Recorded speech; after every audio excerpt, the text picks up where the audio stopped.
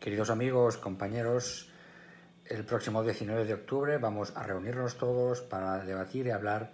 sobre diferentes estrategias de intervención, sobre conductas que nos preocupan en el marco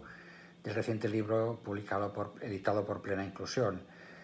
Vamos a estar presentes la doctora María del Mar Adrover y yo mismo para contestar vuestras preguntas relacionadas mm, en torno a cómo se utilizan los psicofármacos en esta población.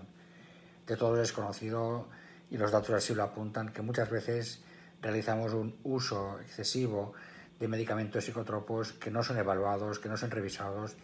y en la mayoría de los casos ellos mismos pueden ser causantes ya de problemas del comportamiento, ya de efectos secundarios no revisados, ¿correcto? Eh, os animo a todos a que participéis en esta importante jornada, que a través de la metodología de la conversación inversa nos hagáis muchas preguntas y tanto la doctora Dover como yo mismo estaremos encantadísimos de poderlas contestar y juntamente con vosotros encontrar mejores opciones de apoyo y eso no significa no utilizar psicofármacos, pero encontrar mejores opciones de apoyo para las personas con conductas que nos preocupan.